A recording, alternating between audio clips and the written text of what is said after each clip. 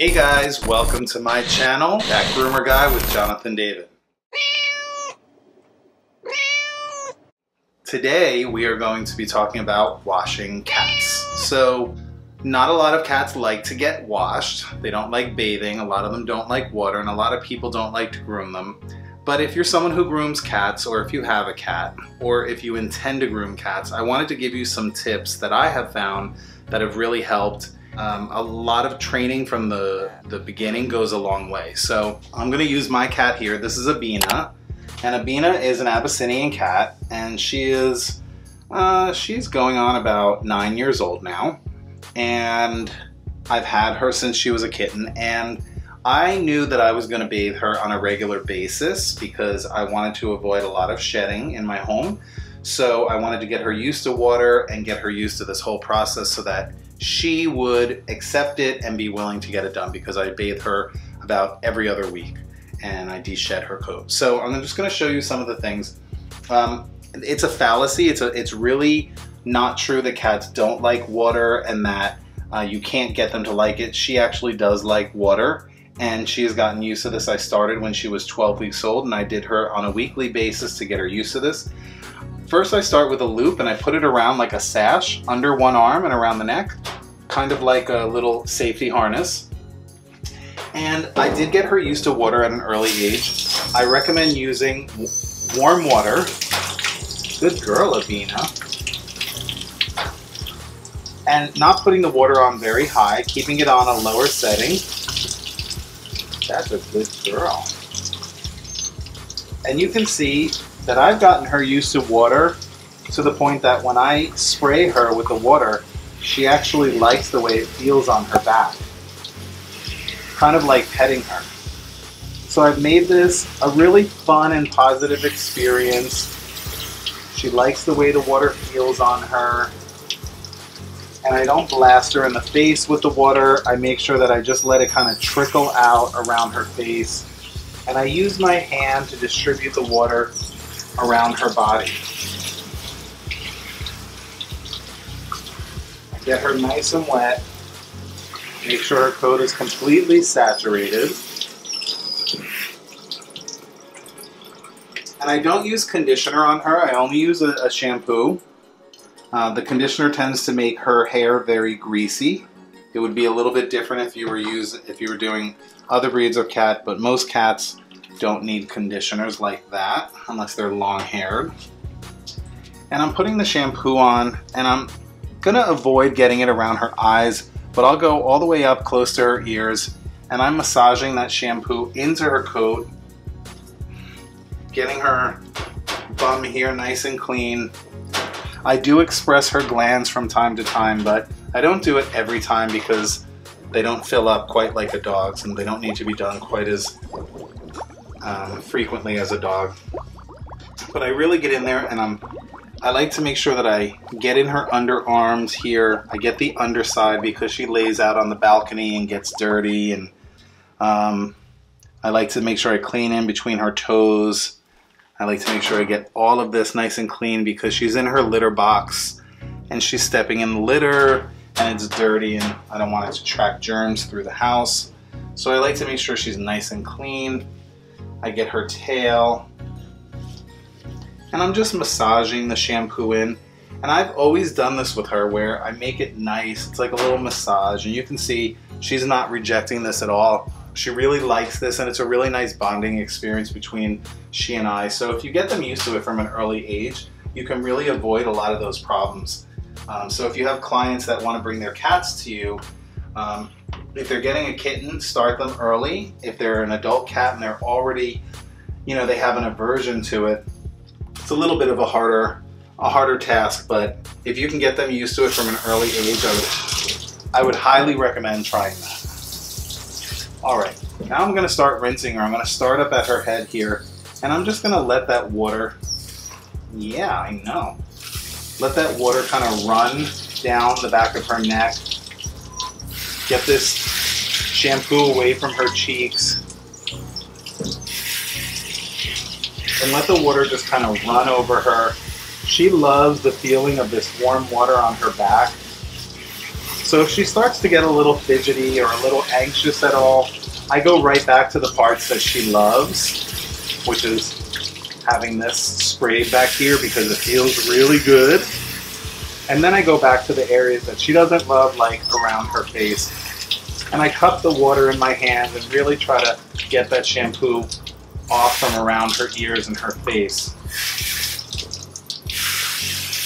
I make sure that I rinse completely down her legs, the whole tail.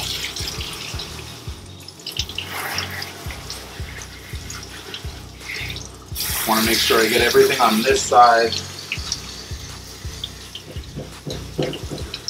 And it's really important that you get all the shampoo out because it's going to leave them greasy and it's going to irritate the skin if you leave it in and they'll get dry flaky skin and they'll start scratching a lot.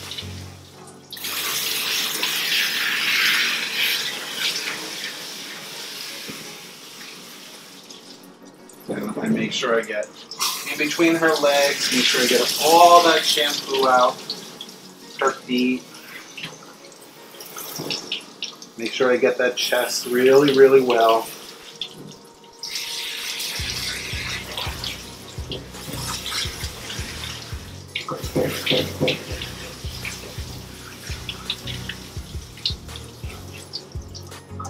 And I'm going to stand her up and just make sure I rinse everything from underneath.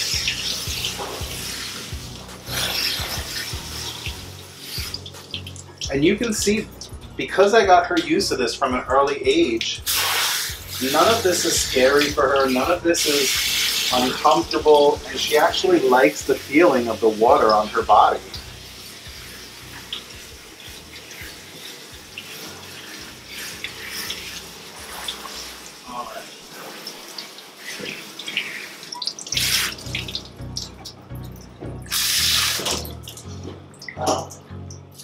Right, she is thoroughly rinsed now.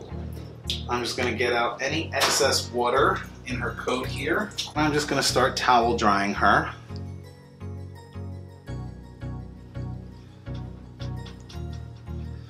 And I'm gonna get as much of that water off with the towels.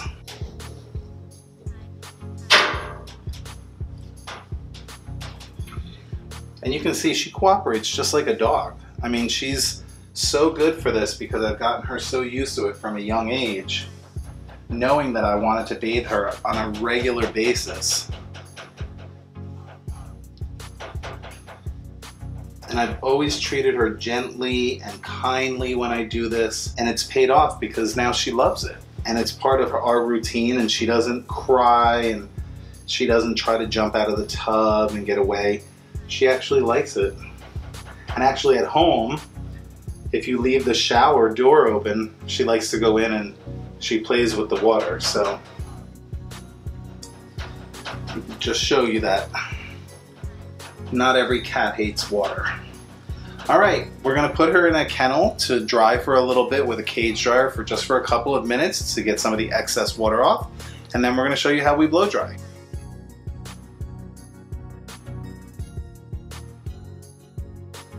All right, guys, so we're back with Abina here. She was bathed and I towel dried her and I let her drip dry for a little while in the kennel. And now I'm gonna blow dry her. So you can use a force dryer on cats on a lower setting. Um, she doesn't really love the force dryer so much, so I'm not gonna use it. I'm gonna use a handheld blow dryer, like a professional beauty blow dryer. And I put her in the loop like a seatbelt. It's like a sash. It goes across the chest and under one arm and it's tight down. She won't jump off because she's used to this, but sometimes if you do this with a crisscross pattern, it holds the cat on the table securely, and there's harnesses you can use as well. So for her, I'm just gonna actually use this on a warm setting, and I'm gonna blow dry her, and you can see how much she actually enjoys it.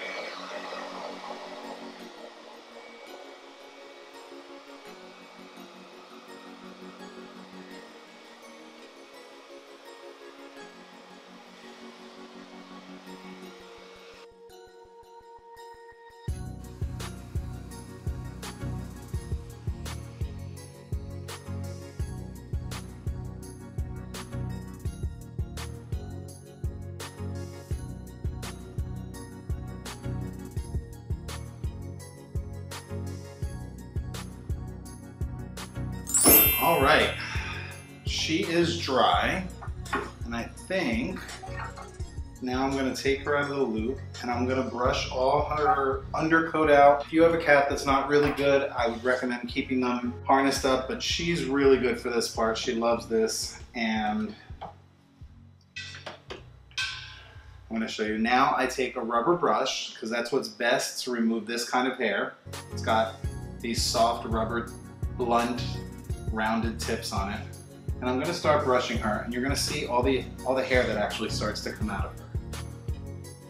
And this is the de-shedding process because I do this after the bath. You can see how much coat comes out. And this really helps to get all the dead coat out.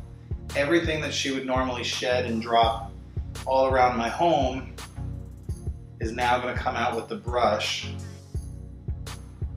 So in actuality, when I'm home, very little hair comes out of her and I have almost no hair on my furniture or anything like that. Um, I'm a real stickler for shedding.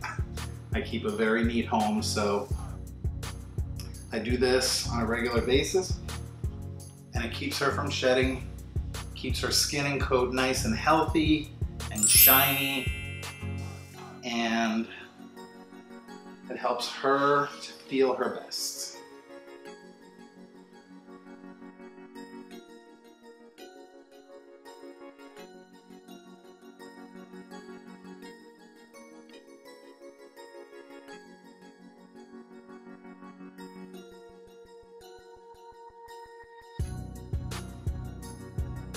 Right, here we are. I'm all finished brushing her. You can see a lot of her hair that was ready to shed out. This is coat that would have fallen out on its own. I helped take it out with the brush. She's nice and shiny and smooth and she feels good and she looks good and now she won't shed in my house. So that's how you do a cat. If you can train them from an early age, you can have them behave like this and they won't necessarily be your worst nightmare. So Look at her, she even loves rubbing on the grooming arm. Well, thank you guys so much for watching another episode of That Groomer Guy with Jonathan David. Thanks for watching, and if you like my videos, don't forget to subscribe to my channel and give me thumbs ups. And if you want to comment anything, comment below.